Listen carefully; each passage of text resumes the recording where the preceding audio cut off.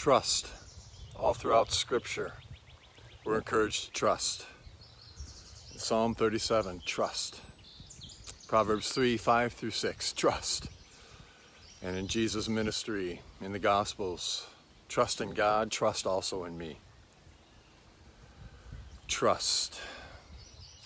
Trust, it's easy, right?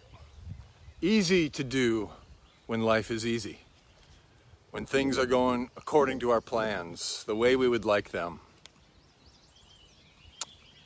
And trust, difficult and hard, especially when things aren't going according to plan, when we're struggling, when we're having difficulty, when life isn't cooperating, when we're in despair or depression. Hard to trust, when life isn't the way we want it to be, when we're not doing what we want to do, we long for something else. We don't want to be in the present moment, in our present situation, in our present circumstances. Trust is hard. Well, I want you to know you're in good company. Throughout scriptures, we get examples of people learning how to trust. And this whole journey in our Christian lives is about learning how to trust.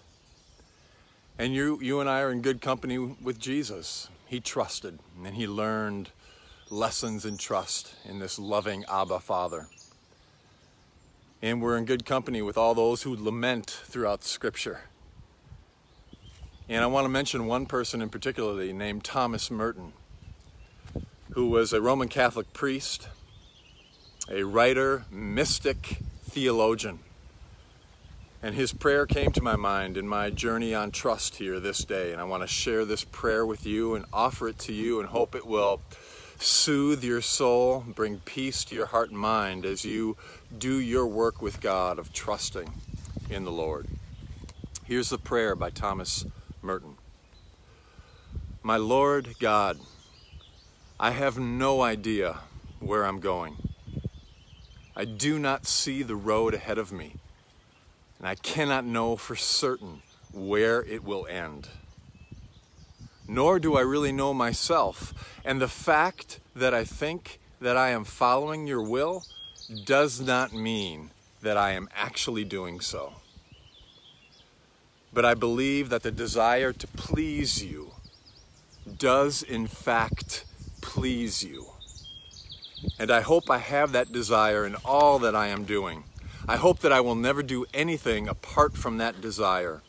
And I know, I know that if I do this, you will be, you will lead me, you will lead me by the right road, though I may know nothing about it. Therefore, will I trust in you always, though I may seem to be lost, and in the shadow of death, I will not fear for you are ever with me, and you will never leave me to face my perils alone. If you're like me, uh, you can really identify with that prayer. Uh, so I offer that as a gift to you and to myself today on this journey of trust. Lord, I don't know where all this is going or how this will all work out but lead me to a peace that is past understanding and a peace beyond all doubt. May you know that peace today. And until next time, may you live all the days of your life.